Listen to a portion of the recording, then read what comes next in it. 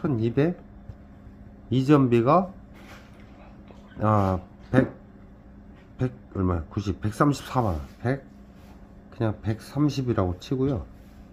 구조 변경비가 60에 5점 115 플러스 115 플러스 옵션 기본적인 시작하는 옵션이 1279 플러스 600A가 240만원 플러스 116 어? 태양광 플러스 고속충전기. 넣으면 3176만원 나와요.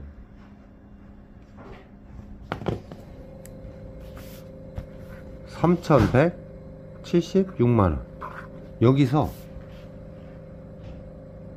어닝도 달아야 되고 환풍기도 있어야 되고 또 뭣도 있어야 되고 이러면 이제 복잡해지는 거예요. 이게 처음에 시작은 초라했으나 갈수록 이게 기와집이 돼버려요. 야 차값 별거 아닌데 뭐, 뭐 사면은 티지 사자마자 이전비 달라고 그러고요. 여기 끌고 와서 한다고 그러면 구조 변경 바로 들어가야 돼요 이것도. 이거 다 세금이거든요. 그 이렇게 나 이렇게 떨어지는 거예요 차값 빼고도 3,176만 아 차값 이제 빼면 2천 2천 차값 전에 예, 2천 밑으로 내려가야죠. 그 이거에 대한 기준을 잘 세워야 되는 게요. 12인승을 사면 이런 걸 안 해도 됩니다. 그거 엠버싱 위아래 이게 빼요 이거를 세모 예, 그 다음에 또 뺄 게 있다. 야, 나는 에어컨 필요 없어. 그냥 부채치고 살지 뭐. 이것도 빼요. 그럼 야. 있어야 돼요. 예. 아 12인승이면 얘가 필요 없다. 그렇죠. 12인승을 사시는 분들이 오히려 현명해요. 그러네. 내가 차를 갖고 올 테니까 그러면은 엠보싱을 트림 같은 거는 굳이 남의 눈 안 띄게 할 거니까 나는 그냥 내 편한 대로 하겠다. 그럼 이거 굳이 필요 없다 이거죠. 그렇다고 뭐 엄청나게 단열 효과가 있는 건 아니지만 새집 들어가면서 도배장판 하는 거랑 똑같아요. 그 개념이지 뭐 엄청 단열되고 그런 건 아닙니다. 그 외에 비용을 2,500으로 내리겠다. 그럼 여기서 죽이든가 이 600A에서 반을 덜어내서 300을 설치하든가 태양광 안 넣고 고속 충전기에서 50으로 내리든가 그러면 딱 2,500 떨어져요. 네. 이거는 제가 드릴 테니까요. 사모님하고 상의 잘 하셔갖고 또 냅다 질르지 마시고 또 쫓겨나요. 잘못하면. 그렇게 잘 상의하시는 게 좋으실 것 같아요. 저보다 집사람이 더잘 잘 질러요. 사모님이 더 잘 질러요?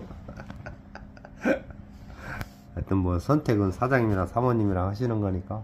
차 바꿔자고 네. 그랜저 그랜저 있던 거 집어치우고 네. 저걸로 바꿨다니까. 아, 모하비로 아, 모하비로 바꾸셨는데 저게 이제 결국은 해보니까 불편하더라. 불편하죠. 네, 그래서 제가 그 사장님 얘기가 맞는 게요. 두 번 실수를 해요, 손님들이. S, SUV에다가 했다가 이게 한 500에서 막 700만원대 전기 작업을 해요. 그러면 이걸 승용차에서 샀다가 일로 넘어왔다가 다시 해보니까 일단 천고가 낮아요. 그리고 둘이서 누워있기에 안에 있는 짐도 많아지고 이렇게 되는 거죠. 그러면 예 속에 아무것도 안 하고 그냥 이제 반대기만 깔고서 판때기만 깔았는데 한 1년만 다녀본 거야. 아 근데 결론이 뭐냐? 예. 나가니까 좋더라. 예. 그럼 앞으로 계속 나가자. 예. 근데 예. 이걸 가져가기에는 불편하더라. 아. 그럼 결론이 뭐냐? 예. 이렇게 된 거예요 지금. 아, 그래서 여기서 이제 이걸 1년을 다녀보신 결과가 나오는 거잖아요. 그러면 여기서 들어갔던 돈도 죽고 여기서 또 까지고 일로 넘어왔을 때 계속 경자가용으로 쓰면 되니까. 아 이거는 쓰시면 돼요 그럼 예, 그럼. 예. 아 여유가 있으면 이건 그냥 쓰고 적당한 차를 만들었을 때 내가 여행을 갔을 때 이게 현업에서 아까 말씀드린 게 그거예요. 내가 사업을 사업을 하는데 가봐야 2박이다 이거죠. 그럼 2박에 맞게끔 설계를 하면 되는 거고요. 완전히 뭐 이 사회에서 은퇴를 해서 나는 가겠다 여행을 꾸준하게. 그럼 그거에 대하게 맞게끔 또 설계하면 돼요. 그거랑 이거 아까 아까 한 장 드렸죠 사모님. 예, 네, 그거 가지고 한번 잘 이렇게 사장님 아까 3벤 얘기하셨잖아요. 3벤보다는 더 싸게 맥히려고 그러면은 뭘 사라고 시요 11. 그래요. 11. 인승이나 12 인승을 사면 돼요. 언제부터? 13 연식 이상. 네, 요게 기준이에요. 그래서 얘는 언제까지 탈 수 있냐? 2000 50년까지 탈 수 있습니다. 2000 50년까지 열심히 타고 다니시면 돼요. 그 이후에는 전기차의 시대가 옵니다. 이제. 그러니까 그때까지 설계 잘 하시면 돼요. 잘 타고 다니시고. 굳이 그러지는 않을 수도 있어.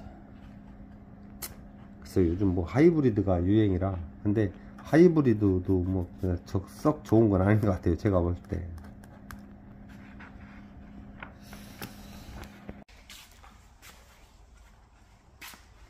이런 차들 보면 이제 만들어지는 과정이거든요.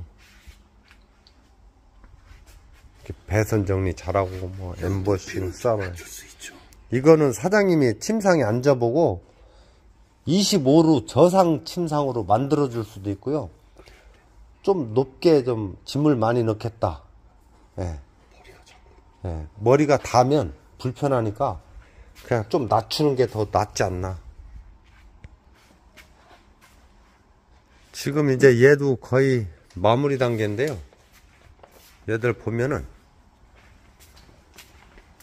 그냥 쉽게 탄다고 그러면은 이 정도 금액에 다 이렇게 에어컨까지 다 했을 때 second car로는 부족함이 없어요. 제가 봤을 때. 근데 뭐 굳이 뭐 이거는 25침상이에요. 얘가. 이거 낮잖아요. 그러니까 이- 예, 여기 이게 높아야 돼요, 이게. 그래야 이 개방감도 좀 좋고 오래 탈 수 있어요. 이게 좁고 머리 살짝 파리 얹은 것 마냥 타면 아주 그것처럼 승질 나는 것도 없어요.